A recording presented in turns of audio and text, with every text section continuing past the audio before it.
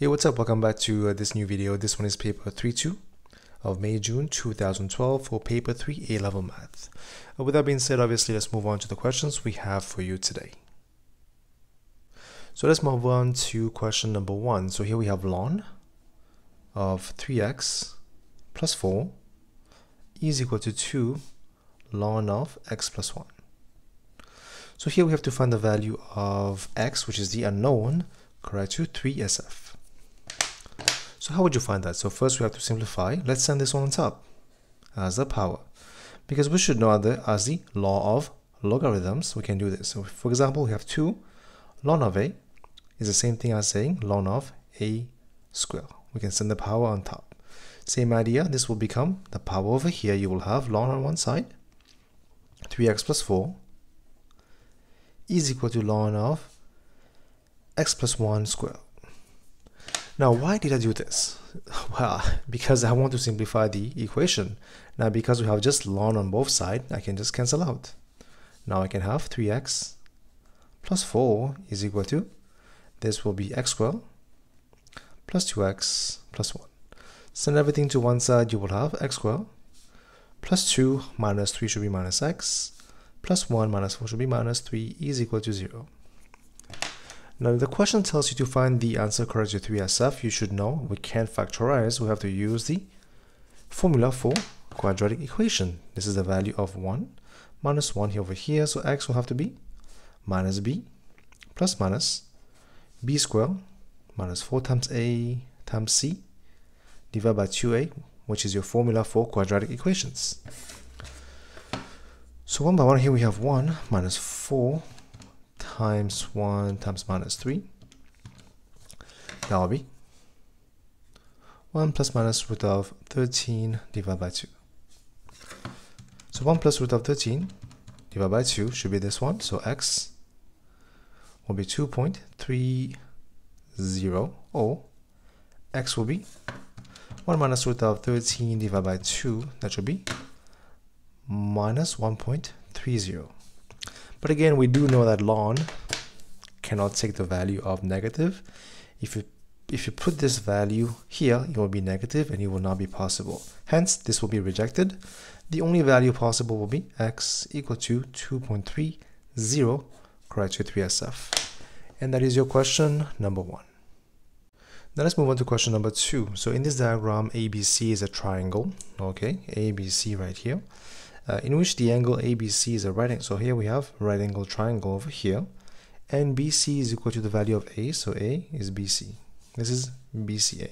Now, the circular arc with center C, so here we have an arc right here with the center C, okay, and the radius is A, so this is A obviously over here as well. Joins B and the uh, joins B and the point M on AC, as we can see right here. Again, this is just basically telling you what we can see on the diagram already. Nothing new, nothing crazy. Now the angle ABC is the theta. So here we have theta for the angle over here. Now this is the most important part, right? The area of the sector CMB is equal to one third the area of triangle ABC. So that's the main information we have to use in this question. Now, part one, we have to show we uh, theta satisfy this equation, which is tan theta equal to 3 theta. So we have to show this in the end. How? Let's use this given information. The area of the sector CMB, so CMB, so this thing, is equal to one third of the area of triangle ABC. Now one by one, how would you find area of sector CMB? So we know the formula for sector is what? Half r square theta. Now here obviously the radius is a, that will be a square, theta for the angle in the middle. Now how would you find the area of a triangle ABC? That is half time base times the perpendicular height. We should know this. So let's find the value of the base. Height we know which is the value of a. Now what is the base? Let's find the base. So using, uh, of course, using trigonometry, because we have a right angle triangle, we know this side, this is my A, so we have to use cos, uh, not cos, sorry, we have to use SOHCAHTOA. Right, SOHCAHTOA. This is my A side between the angle and 90, my A side. And this is my opposite side, so O and O. As you can see, we'll be using this one. This is tan of the angle is equal to opposite side, which is AB, over adjacent side, which is this one, A. Hence, by definition, AB have to be A tan of theta.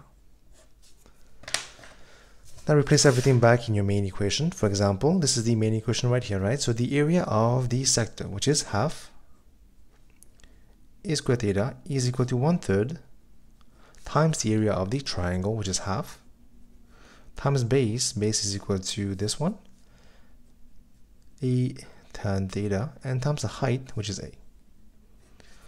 Now we can simplify, this will go away, this will go away, right, a square, and cross multiply you will have 3 theta is equal to tan theta. This is shown as required right here. So the idea behind is basically using this information right here to show this. Done. Two marks done.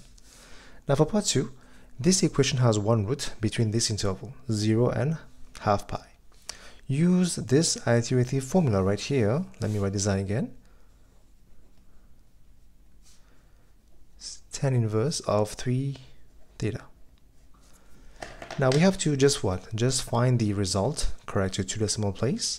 Also giving the result of each iteration to four decimal place. So one by one. We know it lies between those two. So let's find the midpoint. So let uh, theta 1 be what? So we have 0 plus half pi. So pi by 2 is 1.5 so divide by 2 midpoint. That should be 0 0.7854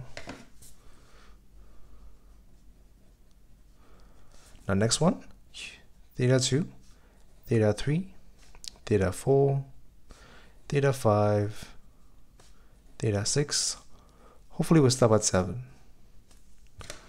of course use your calculator so first value is 0 0.7854 that's the first value now plug this back in here, you have tan inverse of 3 answer. Here you go, one by one. That'll be 1 point, uh, 1694.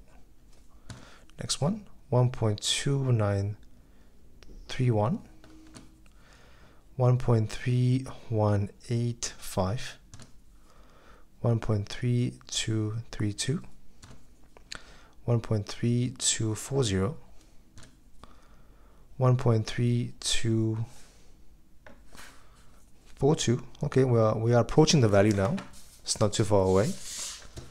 Now theta 8 theta 9 theta 10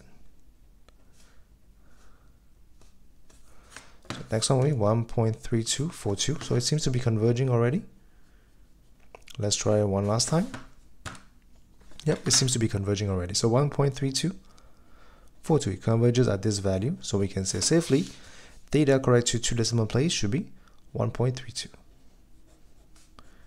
This is your answer for the value of theta correct to two decimal place. And this is your question number two. I hope the first half of the video was somewhat helpful. If you guys would love to access the full video, feel free to click on the Patreon link on the main page. Otherwise, you can go to the description below and click on this link to access the Patreon page for the full video. With that being said, good luck and thank you for watching.